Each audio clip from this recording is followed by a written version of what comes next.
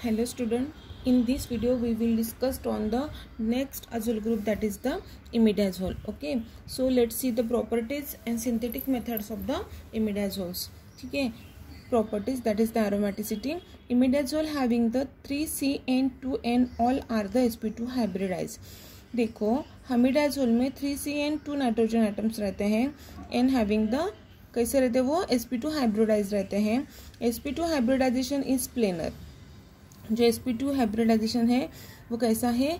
Planar है. It makes a planar imidazole ring structure तो उसकी वजह से क्या होगा? जो इमिडाजोल रिंग स्ट्रक्चर बनेगा, वो कैसे बनेगा? प्लेनर बनेगा. Now let see the synthetic methods of the imidazole हम इसमें देखेंगे कौन सी सिंथेसिस रेड रेड सी स्वेजेस की सिंथेसिस ठीक है, ये साइंटिस्ट ने ये सिंथेसिस मेथड दिए हैं सो उसके नाम से ये मेथड को जाना जाता है। Synthesis of imidazole from a dicarbonyl and aldehyde in ammonia देखो, जो इमिडाजोल का जो सिंथेसिस है, वो in presence of dicarbonyl aldehyde and ammonia के प्रेजेंस में होता है।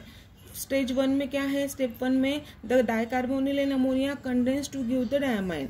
Dicarbonyl and diamine क्या किया है? कंडेंस्ड की करने के बाद क्या मिलता है? डायमाइन मिलता है। डायकार्बोनिल एंड अमाइन जब कंडेंस करते हैं तो डायमाइन मिलता है और डायमाइन को कंडेंस विथ अल्डिहाइड। ये अल्डिहाइड के साथ जब डायमाइन को कंडेंस्ड किया जाता है तो हमें क्या मिलता है? इमिडाजोल मिलता है।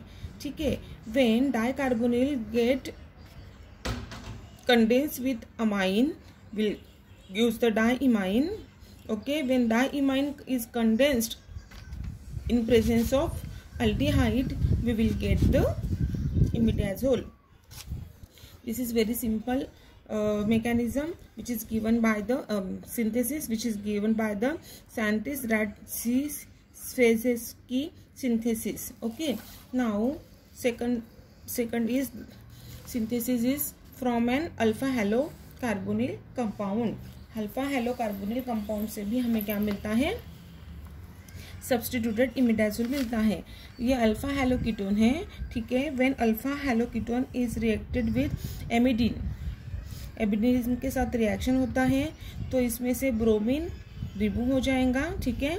Or water molecule is get removed so we will get the substituted imidazole okay when alpha haloketone is reacted with amidine so bromine molecule is get removed and water molecule is get removed we will get ये निकल जाएगा ठीक है we will get the substituted imidazole now let's see the reaction of the imidazole electrophilic addition to nitrogen first देखो protonation imidazole acts as the base it accept proton imidazole एक base करके act होता है, और वो क्या करता है प्रोटॉन को एक्सेप्ट करता है।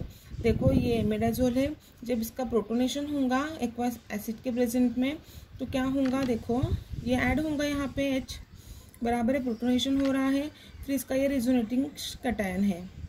यहाँ पे एन एच और यहाँ पे plus okay now various medical uses है इमिडाजोल्स के वेरियस अप्लीकेशंस हैं imidazoles as a as anti agent anti fungal agent करके ये यूज़ होता है एंटी हिस्टेमिक ड्रग की ड्रग में भी इमिडाजोल का यूज़ होता है, और एंटी प्रोटोजोल एजेंट करके भी इमिडाजोल का